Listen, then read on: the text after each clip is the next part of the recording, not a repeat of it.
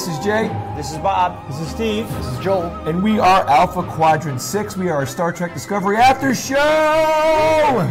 Pick a Rick! So we have uh, our friend Joel in the studio with us tonight. Joel's not just our friend, Joel's not just someone that has helped us tremendously with past productions. Joel has Star Trek street cred. Yes. What is your, what the hell is this street cred that you have? Well, for five years, I was involved with a Star Trek fan production called Star Trek New Voyages, which eventually renamed itself to Star Trek Phase 2. It's the brainchild of James Cawley. Um, and it takes, it's uh, a continuation of the original series. Yeah. Uh, so I did a lot of their on-set visual effects supervision, and then a lot of their uh, post-production visual effects work as well. Um, so five years, it was a labor of love for all of us, really. Uh, fantastic experience, though. Awesome. So we went to the set in upstate New York. It's in what's the town? it's in? Ticonderoga. Ticonderoga. We went there last year. We, beautiful. we dressed up. We took a- an amazing amount of pictures. We had fake battles, like we were pretending to punch each other on It the was, Enterprise. a, it was a religious experience. Without a doubt. Yeah, the sets were impeccably, impeccably reproduced. There's Better. They were better than the original because they Right. had higher definition, you know, graphics for a the 4K camera, pretty much. Yeah. And the bridge set there is a full 360, whereas Yeah. in the actual bridge set used on the show, it wasn't. There was a big section just missing for all of the cameras. Yeah, taken out. I think um, if you're sitting in the captain's chair, it's the console to Spock's left. Right. Correct. Correct. awesome. So you know we might be going to see uh, uh, William Shatner. I was thinking about going. He's going to be on the set next spring. Uh, at, you know, at this. It's basically a Star Trek museum. It's it's really Yeah. a recreation of the original set as it was built in the Desilu Studios. Right, right, right. And they're also going to be doing a Star Trek boot camp of sorts where people can sign up and learn how you create a production. So it'll be limited to 15 minutes because that's the new Paramount restrictions on, on fan productions. Yep. Uh, but anyone who wants to can sign up and learn how it's all done. And you'll see just how complicated and time consuming and amazing it- it is. It's, uh, it's a fantastic experience. So we just watched the latest episode. As you know, we're about to talk about it. So Bob, what'd you think? It's all right. It's all right. I mean, uh, the, compared to last week's, it's hard to, to Yep. really top that. But it was decent. Um, I was happy to see that there was an alien that wasn't a human with uh, brow ridges. You know, it, was completely alien, and so that that I liked. Um, so it's a couple interesting things. It didn't completely wow me like the past few episodes, but it was enjoyable and you know and well worth it. Definitely. So we just say this is episode eight. This is the mid-season pre-finale. I like to say this is. Uh, so yeah, there'll be nine episodes in the fall season. Yeah. Next next week is the finale, and then I guess six more episodes in the spring to, to close out season So one. So we're past the halfway mark, is what you're saying. Yeah, right. Yes, exactly. And this was a cliffhanger to the finale next week. Uh, so, but I, I think I I had the same reaction that Bob had. I'm in, still enjoying it. I enjoyed the episode. It was a solid Star Trek episode. You know, uh, the I like Alien Aliens. You know that are totally and Star Trek. Basically, that's Star Trek, right? You either have slightly modified humanoids or the Horta, right, or something that's totally Right. not human, Right. which is fine. You know, so it was kind of in Yeah. line with that. The the planet Pahvo was a bit Avatar, Yeah, right? was. So it was Yeah. the, the planet-wide glowing Synergy, everything. synergy, Gaia, yeah, Gaia, Gaia right. kind of consciousness. It was one organism, you know, which is fine. That's kind of a basic concept in science fiction, but yeah, it, that was a little derivative.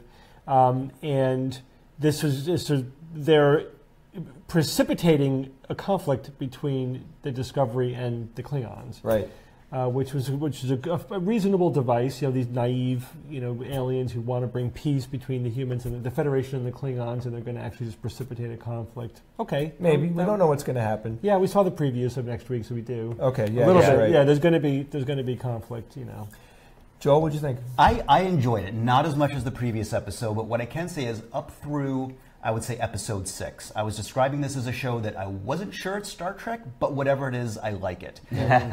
episode seven and this episode both felt like Star Trek episodes to me, very much Star Trek episodes. Yeah. Um, I enjoyed that aspect of it a great deal. And it's worth noting we're eight episodes into the series. They're doing way more things right than they're doing wrong. Yep, I agree. Now, Next Gen is not just my favorite Star Trek series, it's my all time favorite TV series. This far into season one, they were mostly doing things wrong. Yeah. Mhm. Yeah. They had not made this kind of progress yet. So it's really a terrific accomplishment that clearly they've learned from the past. Good point. It feels like a very sure handed show. I get a sense that they know what kind of show they're making, they know exactly where they're taking it. Yeah, they know where they're going. Absolutely. Yeah, which I like. Yeah. And one of the things they're doing right, I can say this as a lifelong Star Trek fan and a gay man.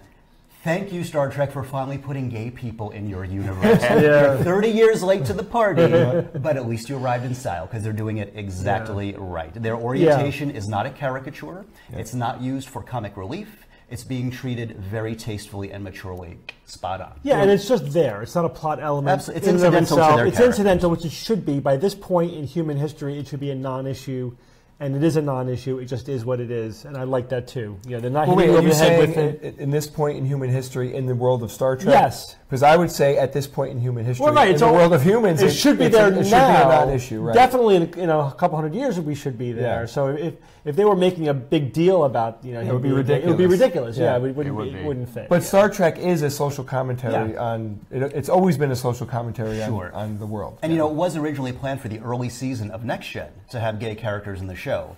Gene Roddenberry wanted that. His health ailed pretty early on, Yeah. and he died, unfortunately. And with Rick Berman as the showrunner, multiple cast and crews of multiple Star Trek series said, as long as he was running the show, there would be no gay characters Yeah. in Star Trek. So it was a showrunner issue. yeah, You know, and, and it's decisions like this that, that producers, writers, and producers make that give young kids a feeling like I'm normal. Mm-hmm. You know, Right. It's okay. You know, it's important that that culture does this. That kind of reflects back the reality of what's going on out there. So yeah, Yeah. thumbs up, Star Trek for doing that. I Better really late than never. it. Yeah. Now, to get to the specific episode, I do have a couple of issues. yeah, Yeah. which is the true of pretty much every single episode. Oh, sure. I Well, enjoy that's- it. They're fun, but I have a couple issues. And I never expect perfection at this point. Yeah. As long as they're doing more things right than wrong, I'm cool. Um, well, Bob, did you have some issues with this? Yes. Well, speaking of, of stam, Stamets. Uh, there was- Stamets? Stamets. There's no Stamage. N No, there? it's a stamage.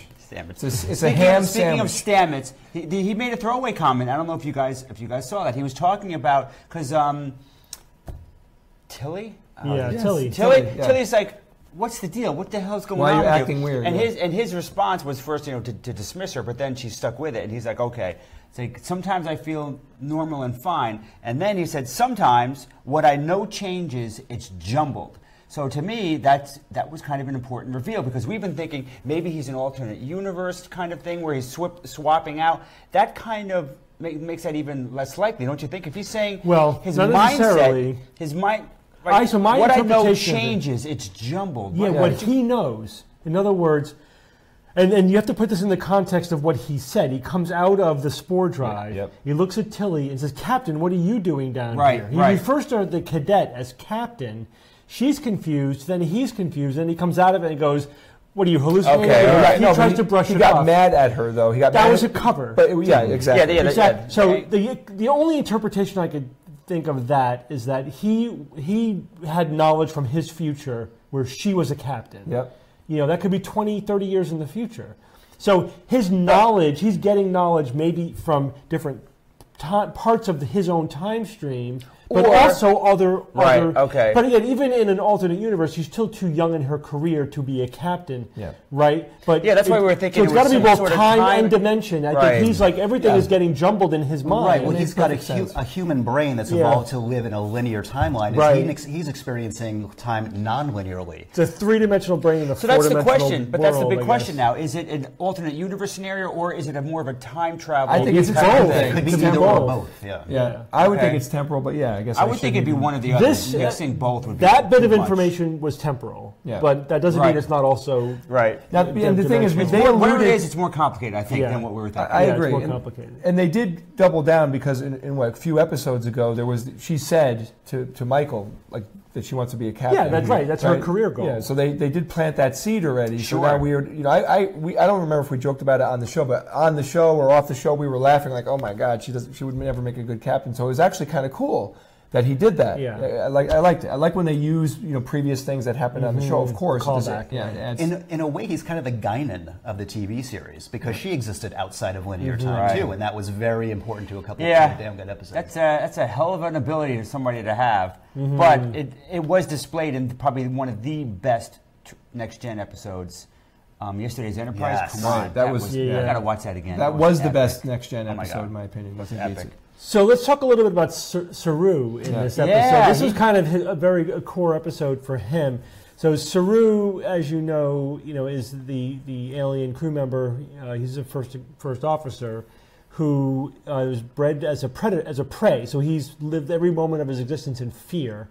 And then he has, you know, he interacts with the spore entities, you know, planet-wide entities on Pahvo, and he experiences his first moment without fear, and and Becomes a jerk. It, well, he, it seduces him. he does. I mean, you know, he's like, okay, that's it. This is this. I want to exist like this now, Yeah. and screw the mission. He drank you know, the Kool-Aid. Yeah, which See, that's me- how I felt after I ate smart food for the first Yeah. time. I'm like, okay, I found what I need in life to make me happy, and that's all I want.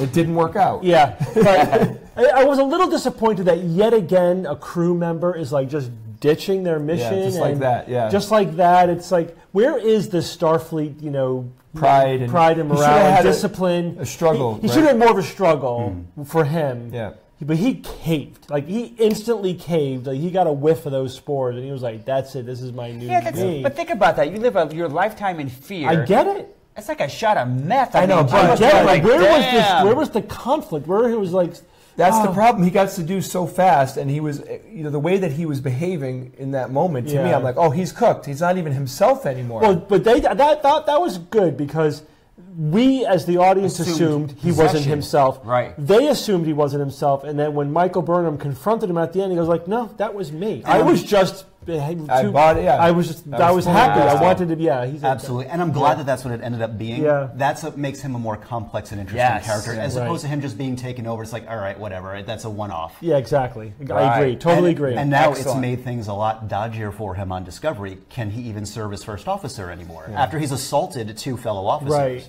right, right. So I mean, it would be. Interesting. It depends on, again, like, like so many things. It depends on where they go with it. It Mm-hmm. could be a very interesting, growing plot arc for that character, as long as they turn it into something interesting. And this has shown itself to be a show where they don't hit the reset button at Yeah. the beginning of the next episode. So I think there are going to Yeah. be long-term consequences for him.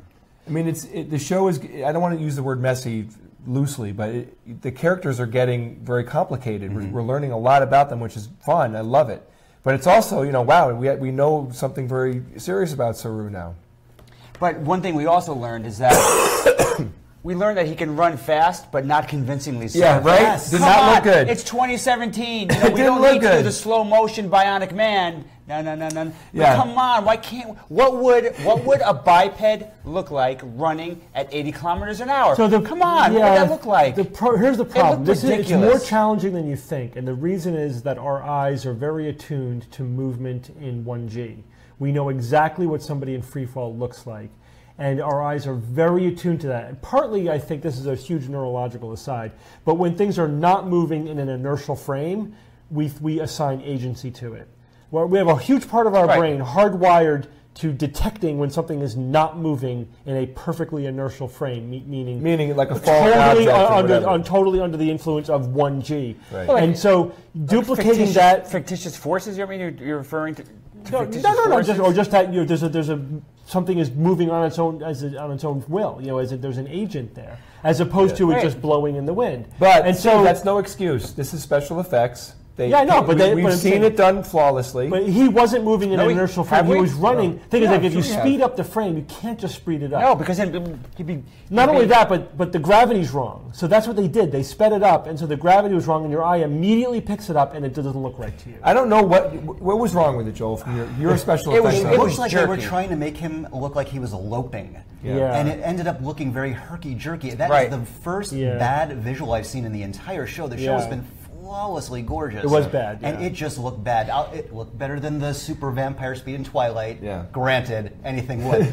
but it was it was really awful. Cut- It, So there, it pulled me out. There and was two different scenes though in, of him running. One when he was just starting to run fast, which was And that weird. was that was okay. No, no, it wasn't. It was weird. It was okayish. No, it I was, didn't like The it. closer up shots looked better to me. The Yes. wide shot of him running along the That's ridge, where that it was looked like- That bad. terrible. They both were what bad. the hell? Yeah. But again, we're nitpicking, and, because, and it's But kind it's of fun. show's credit that we're going so off on it for this one. But it's fun Because nitpicking. No, it is fun to nitpick It's on fun that stuff. nitpicking, and I want to know what would it look like. I mean, uh, cheetahs run at 60 miles an hour. Yeah, but they're they're quadrupeds. Oh, fine, fine. But I what would would a just biped blur them look out like? a lot more. You know, get not, not make it look so clear in detail. Yeah, I agree. That would actually been interesting to see it like it just blur out, like this blue smudge go across. Yeah. Okay. It should be doable. It should be doable this this day and age. I don't think that's an insurmountable. It's not. You're right. It's not like it's not like a, a CG face. It's not like the uncanny valley, which is something Yeah. that we just not past it yet. This is something that's like if you really worked Well, on it, I think you could pull that off. Yeah, but what I'm saying is it's similar because those are both things about which our brain is very, very, hmm. very closely attuned. Yeah. You know, and so those are the things that are really hard to CG because you could you could pick up the subtlest problems. And also not bear that in this mind- Nothing that subtle about that, Yeah, though. this is Yeah. not that subtle. Bear in mind, this was not a bottle episode. They go to a new location. This was an us- unusually visual effects heavy episode. Yeah. There was a lot to do. They may just not Fine. have enough time Yeah, to sweeten it up. it might have been like yeah, of that's as good as we're going to They get. should have. time I think. I just personally think they should have looked at that co- that half a second snippet and be like, nope, trash that. Bob, they may have done that and said, We've, "This thing has got to go out. We've, the people are going All to watch this." I have a couple comments, so don't don't don't change it yet.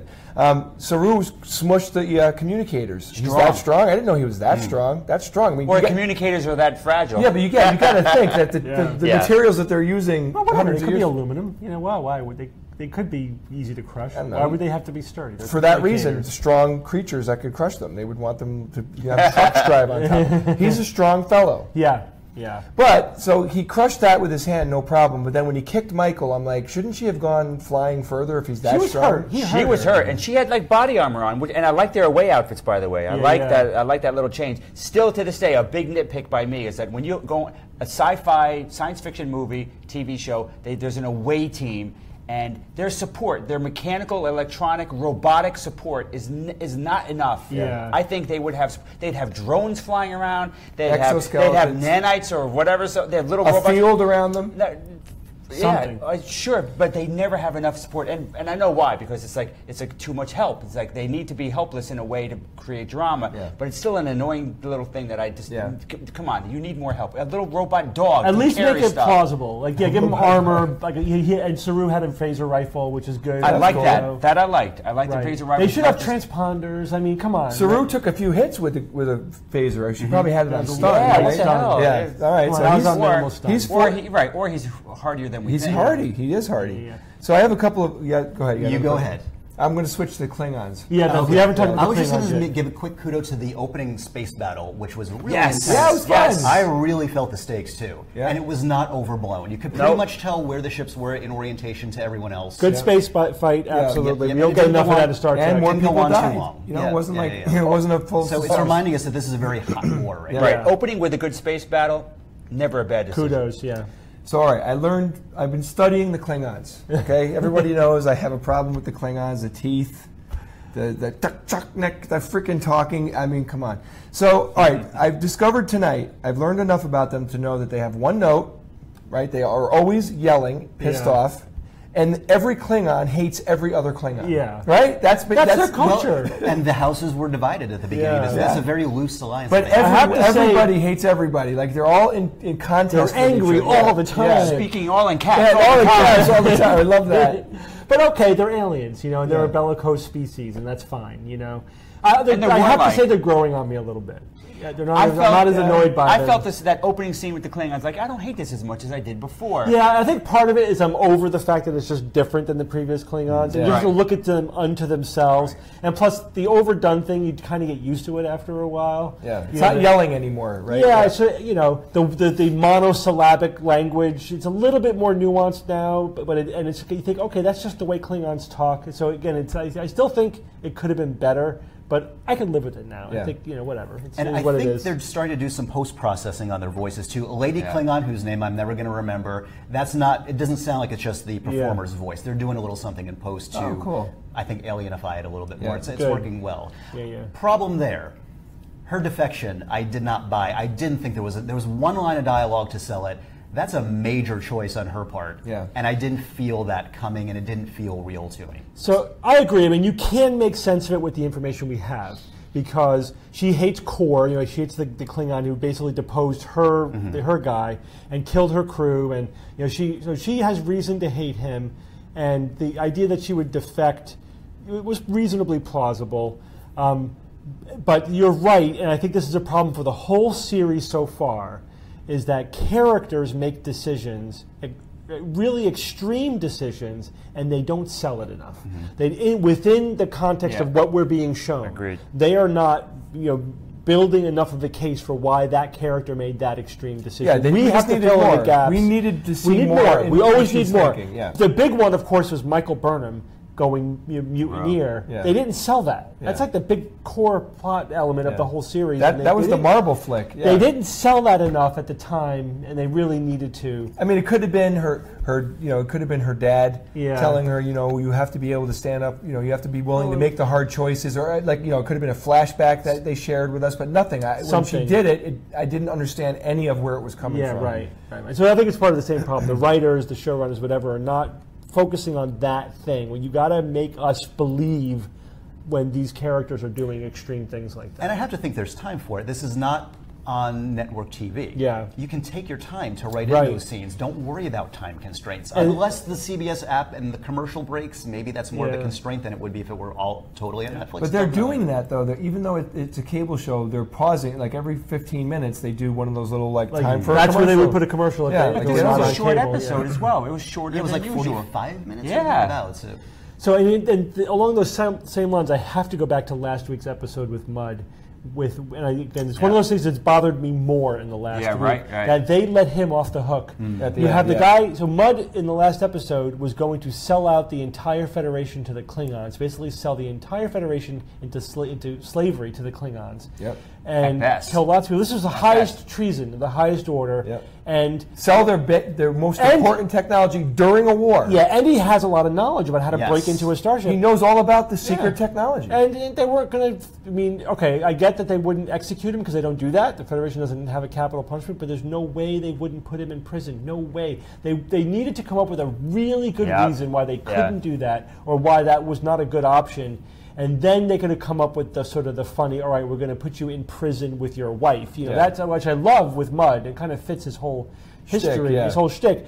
But they didn't sell that either. They're No, not they giving didn't. us enough credit as the audience. They got to justify these Yeah, decisions. they're rushing into them like they're, Yeah. they're acting as if we're from the 1970s and we'll, we'll buy it. No, we're, we are Star Trek fans. We, te- we tear apart every Yes. little nuance. But again, that on. was the only ding and what was otherwise. Oh, it was a fun Wonderful. episode. It's a big one now. I didn't get to big big one. one. Joel and I didn't get to comment. We loved it. We Last watched it. We yeah. watched last week's episode today. Yeah. Yeah. Trying to catch up. Because I Fun was, at- yeah, it was wonderful. We loved it. We were, we were like pausing it and talking during the episode Yeah. a lot. It was a Ah, lot you're of so fun. lucky. Very, very good. I've got another that. kudo and a nitpick. I'm not going to remember his name either. A hottie security officer. Ash? Ash? Yeah. Okay. Yeah.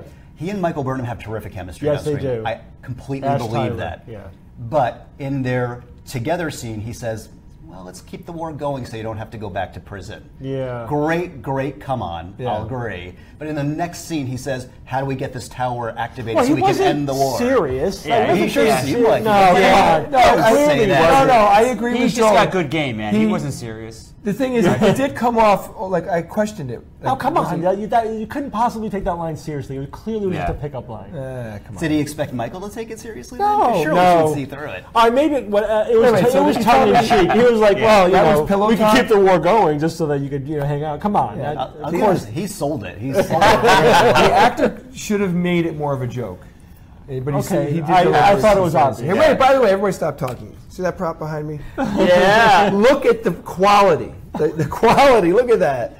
A friend of mine named Keith, who I talked about on the po- our, our podcast, The Skeptic's Guide to the Universe. Can you be specific? What? Be more Yeah, specific. Yeah, that There's is lots of props back there, Jay. that, The new one. The this new one, one. my hand is, is over. The new orange yeah, you got to look at the screen. My hand is Oh, waving over. So okay, that yeah. he handmade that, handcrafted that in in his woodworking studio, Mm-hmm. and it took me three months to paint it because we're so busy. Yeah, but we did of it paint. tonight. Our goal. Joel said we're finishing that prop tonight, and I'm like, And we're we doing it, and we did Yeah. it. And it looks great. It looks great. wonderful. You guys yeah. did a great job. I absolutely love it. It's actually better than the quality of the prop that was on the original Enterprise, the original series. Yeah. Because there's no way that they had someone woodwork it like that. No way. That's made out of real wood. Thank you.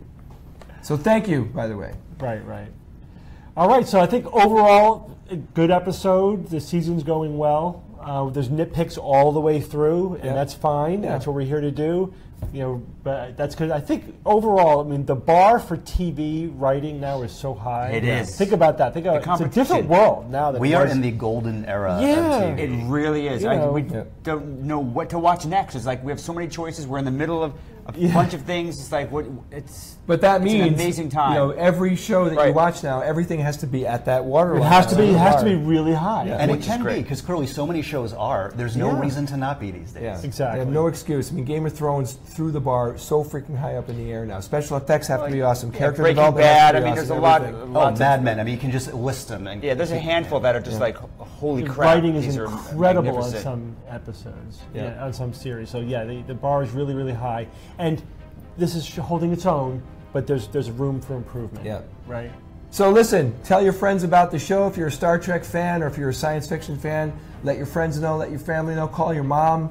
You know, we're good-looking guys, right? We deserve a little little Yeah. love over here. so next week is the fall finale. Yep. Right. We're really excited for that. Looks like there's going to be some good conflict with the Klingons, and well, then we'll have the break.